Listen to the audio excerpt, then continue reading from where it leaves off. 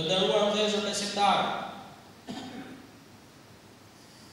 paragjykimi apo paramendimi i keq ose i gabuar është një nga sëmundjet e mëdha që ka kapluar muslimanët. Paragjykim do të thotë të paramendosh në mënyrë të gabuar dhe jo të drejtë për tjetrin, duke bartur mendime dhe ndjenja negative kundrejt tij. Kur'ani Famëlartë e ka ndaluar rreptësisht paragjykimin, duke u shprehur, O ju që keni besuar, largohuni prej dyshimeve të shumta, meqë disa dyshime janë mëkat. Për këtë, besimtarit i takon që brenda mundësisë të mendojë mirë dhe pozitivisht për të tjerët, duke mos i hapur rrugë assesi paragjykimit. Edhe kundrejt veprimeve më negative, besimtari duhet të ndjekë principin, gjithmonë,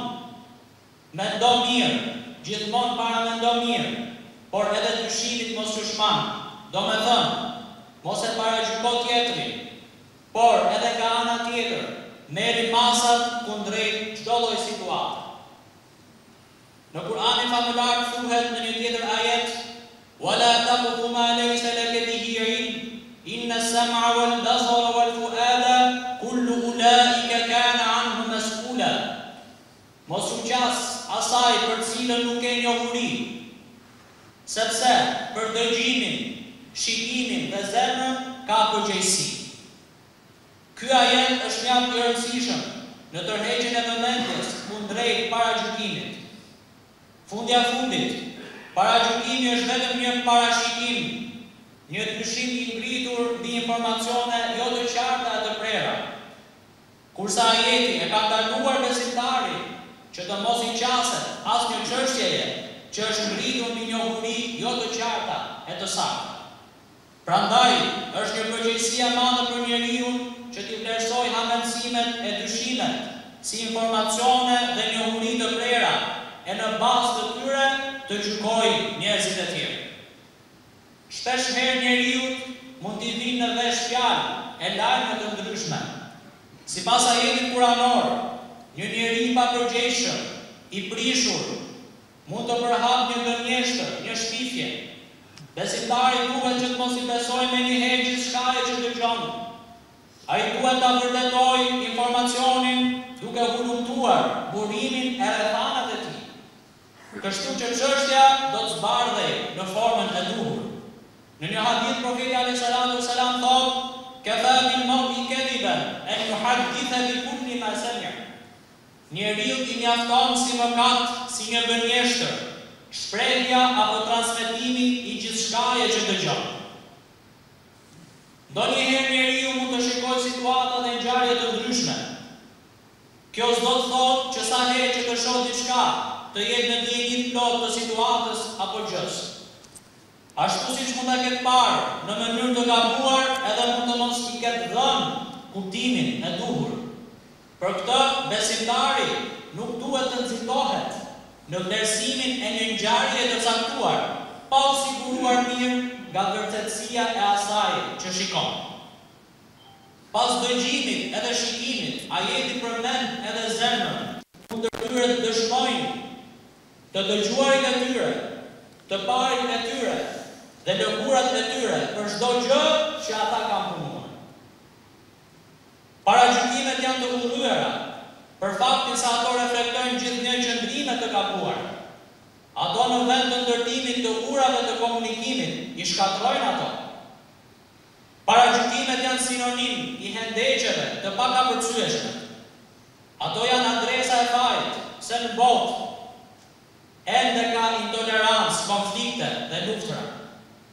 Ato janë shkak i propagandave të ndyra të njerëzve me qëllime të ulëta, të njerëzve me vizion të izoluar, të atyre që vuajnë nga zemërgurësia dhe verbëria mendore e shpirtërore. Këta njerëz nuk reshtin së shpifuri dhe akuzuari nuk kursehen aspak nga shtrembërimi i të vërtetave dhe deformimi i fakteve, çka për pasojë bën që njerëzit krijojnë një frikë të panevojshme dhe të paarsyeshme ndaj një gjëje të caktuar. Në një tjetër hadith Profeti alejhi salatu ves selam thotë, Ruajuni paragjykimit, se paragjykimi është gënjeshtra më e madhe. Paragjykimi është një sëmundje që dëmton individin si nga ana shpirtërore ashtu edhe materiale. Pavarësisht se ai mund të jetë një dukuri e lidhur drejtpërdrejt me individin, shpeshherë mund të shndërrohet në një problem shoqëror që prek tërë strukturat sociale. Në këto raste, kjo gjë mund të çojë në plagë serioze shoqërore. Paragjykimi që nuk gjen mbështetje te realiteti është një lloj shpifjeje dhe njollosjeje për tjetrin.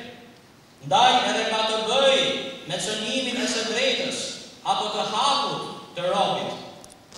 Dhe kjo kur ndodh në masa të gjëra, cënohet haku i shumë individëve.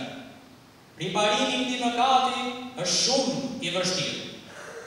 Paragjykimet, shpifjet, propagandat e bazuara në to mund të bëhen shkak për largimin e njerëzve nga e vërteta dhe e drejta.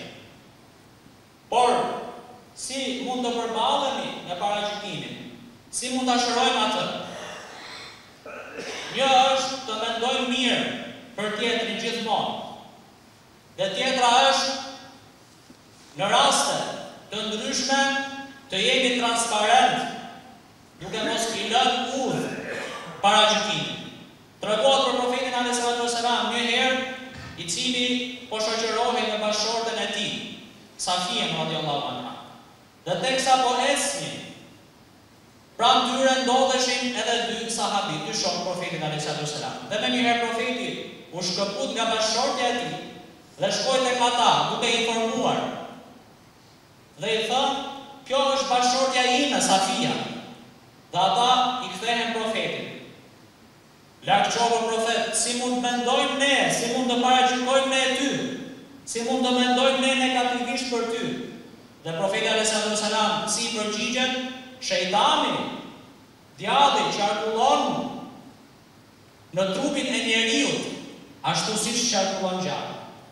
Pra dhe në këtë rast, Profeti alejhi salatu ue selam u mundua të tregohej transparent duke mos i lënë rrugë paragjykimit.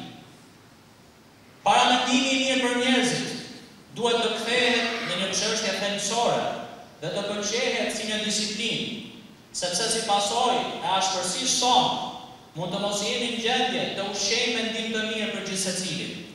Mirëpo si në shumicën e çështjeve që i përkasin Islamit, veprimi i vazhdueshëm me një mënyrë të tillë të menduari mund ta kthejë atë në pjesë të karakterit të njeriut. Allahu xheleshanuhu na bëftë nga ata që gjithmonë mendojnë mirë për të tjerët, nuk paragjykojnë dhe inshallah na ruajtë pra nga kjo sëmundje e madhe që është përhapur kudo. Amin.